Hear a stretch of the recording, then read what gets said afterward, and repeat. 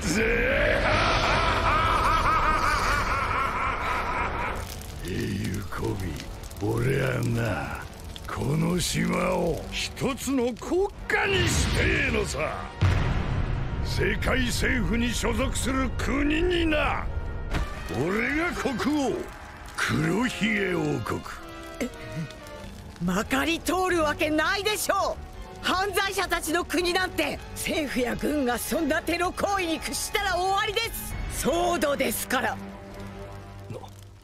え？騒動？なんでするや。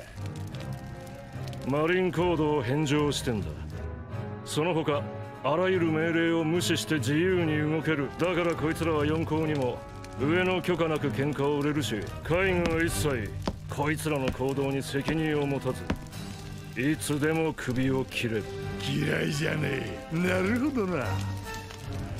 だがお前が英雄と呼ばれてる以上その時が来るまでぶち込んどけ。ん。で楽しみだ。